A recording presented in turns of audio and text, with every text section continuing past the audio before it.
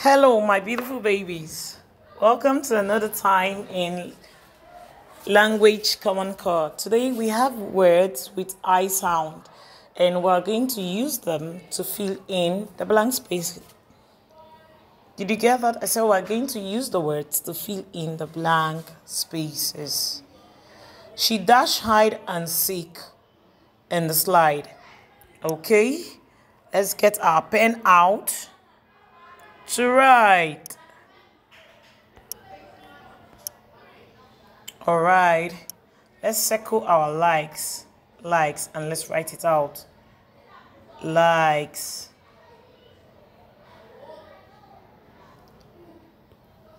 She likes hide and seek on the slide. Okay, let's move to the next. Dan rode is dash to Sam's. Dan rode his bike. Let's circle it. His bike. Dan rode his bike to Sam's. Number three, the last but not the least. Yum, that is a sweet cake. Let's circle it.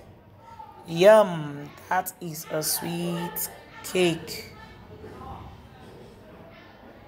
Good job. I hope you had a good time today. Do well to attempt quiz and do your assignment. Submit the workbook in school. Bye bye now. See you in our next class.